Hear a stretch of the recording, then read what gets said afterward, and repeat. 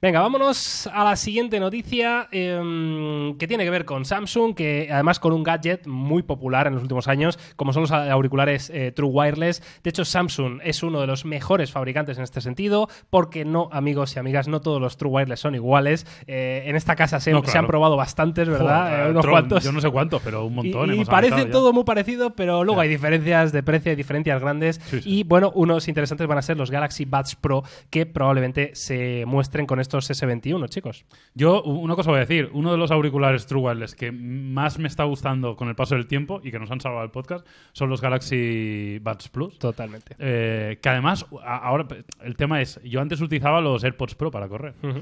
pero un día lavando la bici, en, el, en, en la manguera presión, Sí. estaba con los AirPods puestos y lavando la bici del barro, de que había salido por la montaña, y se me cayó un AirPod. Y, y hizo ese momento dramático de pling, pling, hasta que se metió por la rejilla del Vaya. desagüe del agua. Entonces ahora solo tengo un AirPod Pro. Entonces desde entonces empecé a usar los Galaxy Buds Plus para hacer deporte que parece que no vayan a ser económicos y se vayan a caer por su forma y por su constitución y van de maravilla. Sí, yo coincido totalmente, me gustan, pero es que llevan haciéndolo bien desde el inicio. O sea, recuerdo yo que Sí. desde los primeros bats ya estaban muy bien. O sea, al final son una de las mejores alternativas por poco más de 100 euros. Yo tuve la oportunidad de probar durante bastante tiempo y todavía los tenemos aquí. Los Buds Live, que ahí sí que se tiraron un poco a la piscina. Las Esto judías, eran- ¿no? Las judías, que no estaban nada mal. Sí que es verdad que no pretendía ser un producto de masas, era más caro y era como un, un poco tirarse un triple por hacer algo diferente a lo que estaban haciendo el resto de fabricantes, que no me parece mal, ¿no? Por intentar ofrecer algo distinto, porque al final si no te diferencia lo llevas jodido. Pero me parece que lo hacen muy bien y en este caso creo que que mantienen lo mejor de los dos mundos, en el sentido de que vuelven a un diseño más tradicional, un diseño que le puede gustar a todo el mundo, muy parecido a lo que ya había, y añadiendo la almohadilla y añadiendo la cancelación de ruido, que era lo que le faltaba, ¿no? Porque sí que es verdad que los Buds tenían alguna, pero no era, no era comparable con lo que estamos acostumbrados como cancelación de ruido de los AirPods Pro, de los FreeBuds Pro, que es lo que llevo yo de Huawei. Así que es el producto que realmente necesitaban. Y, y me imagino que vendrá con un precio bastante razonable, porque en el caso de los Buds Plus, si no me equivoco, creo que se pueden encontrar a día de hoy por poco más de 120 euros, que me parece un precio cojonudo. Desde salida eran 149 o algo Sí, así, ¿no? Si no ser. recuerdo mal.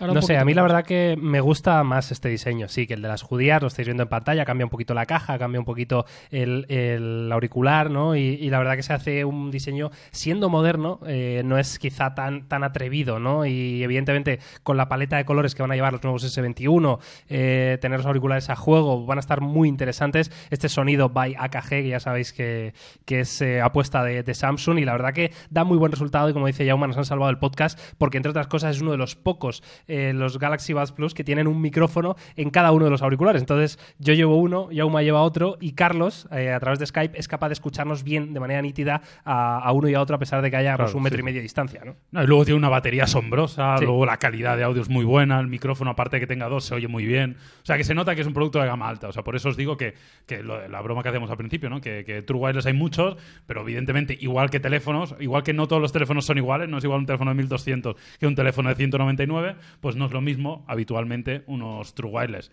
de, yo qué sé, de 49 euros, unos de 180. ¿Qué te pasa? Es que lo estáis viendo ahora mismo como yo, Carlos no lo está viendo, pero es que en la web esta de 9 to 5 Google, donde estamos pillando la imagen, me, me recomienda aquí la publicidad jamón Joselito. Qué un, grande. un jamón, Carlos, que te lo estás perdiendo, que es, una, es un espectáculo, ¿eh? Ahora un Hombre, jamoncito bien, ¿eh? Joselito- Hostia, que si entraba el bien, Joselito, el Joselito Morro es fino. la versión ultra de los de Ya los jamoncitos, ¿eh? Qué grande. Joselito, A ver Joselito, si, nos está escuchando. A ver, a ver- a ver si los jefes En de Toque de Navidad. Gama nos envían lote. Hombre, a ver, eso digo yo, una cestita, ¿no? Este año. Este Y año. de- hablar con recursos humanos. Dime lo que todo en almíbar. Y-